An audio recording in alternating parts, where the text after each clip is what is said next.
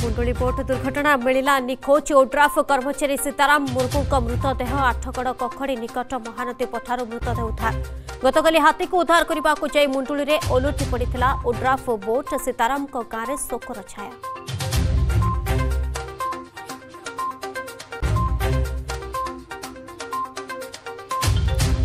केआरडीओ तथ्य लिक घटना संदिग्ध महिला ठाप करने प्रयास रहस्यमयी महिला क्राइम क्राइमब्रांच पक्षर तनाघना अभियुक्त जेरा बेले पुणि थे होपे रिमांड आवेदन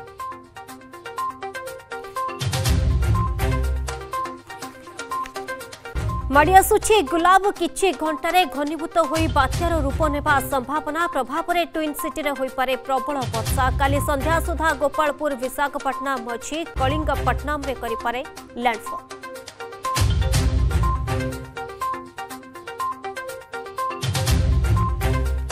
শারদীয় দুর্গাপূজা পাই জোরদার প্রস্তুতি কটকরে জোরসোর চালিছি মূর্তি কাম সেপটে তুহাকু তুহা বর্ষা সাজিছি বাধক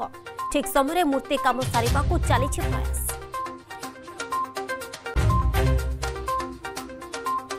ପୁଣି ଫେରିଲା ହକି ଫିଭର ଭୁବନେଶ୍ୱରରେ ହକିର